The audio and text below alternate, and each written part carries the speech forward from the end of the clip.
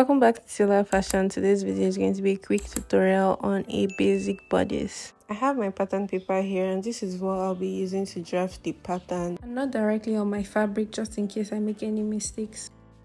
First thing I'm doing is drawing out the reference line and that reference line is half an inch and it's just so we could create some space at the top there that we're going to be using later. Then I'm going to go ahead to measure my shoulder to bust line. And when you're measuring, you're measuring from the highest part of your shoulder to the highest point of your bust so you go ahead to place whatever you get from that reference line and then you mark it out next it is the shoulder to the waist point and you measure from the highest part of your shoulder to the thinnest part of your waist or about one inch above your navel.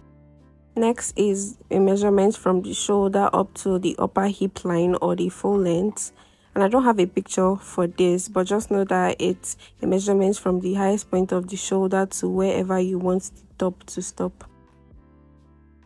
So I'm just going to go ahead to label this bust line, waistline and the full length. Now I'll go ahead to measure the neck width which is 3 inches and the neck depth which is also 3 inches and this is standard measurement. Next is the shoulder measurement and you measure between each shoulder joint.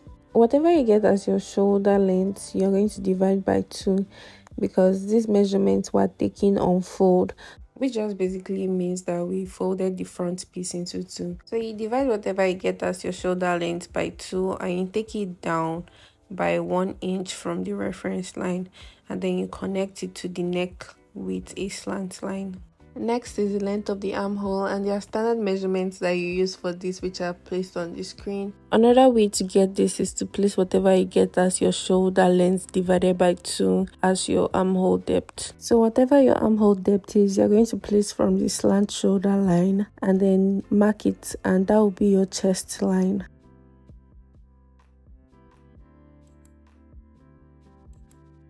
So this is me connecting the um, armhole line and I'm just making sure that it is straight. So because naturally our bodies are not as flat as this pattern paper is, our bodies have curves. We're going to be adding that to bring out those curves. So in order to know the width of your dart or how far your dart will be from the center front or the edge of the pattern paper there. You're going to measure your nipple to nipple. That's the point from one nipple to the other nipple. And you divide by two. And for me i have four inches. So i'm going to place the four inches on the bust line the waistline and the full length. And i'm going to connect that to the point of the middle of the shoulder. And if we're doing a shoulder that there'll be a dart around this midpoint of the shoulder but we're doing only a waist and side dart so i'm going to take 0.5 inches to the left and to the right of the waistline there and I'm going to connect it to about 1 inch below my bust line and about 2 inches below the full length. So the width is a total of 1 inch and you could increase or decrease this based on your size. Next, we're going to put down the bust width.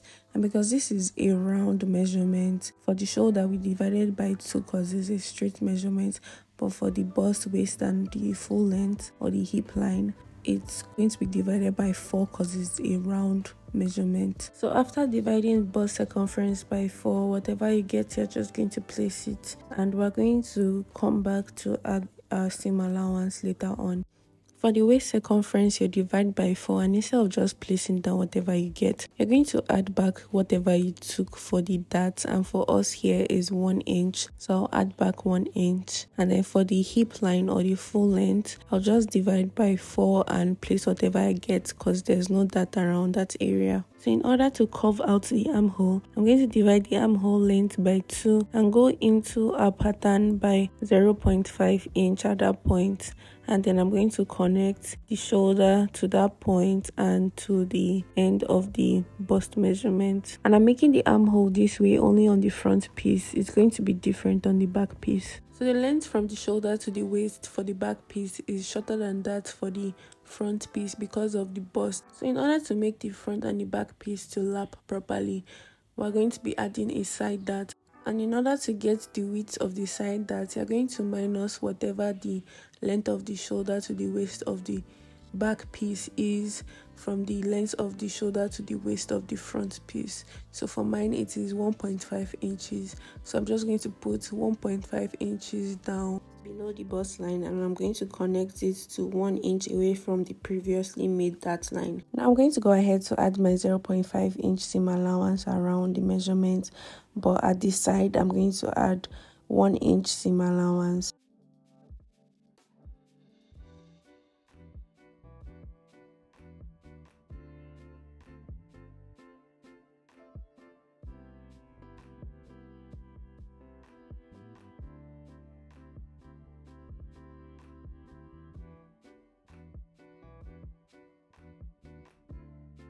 So I'm done with the front piece and I'll just go ahead to start with the back piece. And the first thing I'm doing is I'm just marking out one inch for the zip allowance at the center back. Since we've already calculated previously the difference in length of the shoulder to waist on the back piece and the front piece and it was 1.5 inch for me, I'm just going to go ahead to take out 1.5 inch from the back piece there so that it can match with the normal length of the back and also match with the front piece which we've taken 1.5 inch dart at the side for. So i'm taking the measurement up from the waistline by 1.5 inch so we're going to have a new waistline and a new full length. Now we can go ahead to take all the back measurements. For the neckline, you're going to take the same thing for the width as you took the front piece and that is 3 inches for width and for the length I took 1 inch and in all this you won't be including your zip allowance when you're measuring. I'll go ahead to mark my shoulder length the same way I did for the front piece and then my armhole length which will be on the same level as the front piece that's the chest line. Next i'll go ahead to mark out my dart and i'm taking it the same way i took the front piece for the width and you'll make sure that you're not measuring the zip allowance as you're measuring this. So for the front piece we took four inches and then for the back piece it's the same four inches but if you're including the zip allowance it's five inches then on the new waistline that we marked out, you're going to take 0.5 inch to the left and to the right of that line, making a total of 1 inch and connect it to the bust line.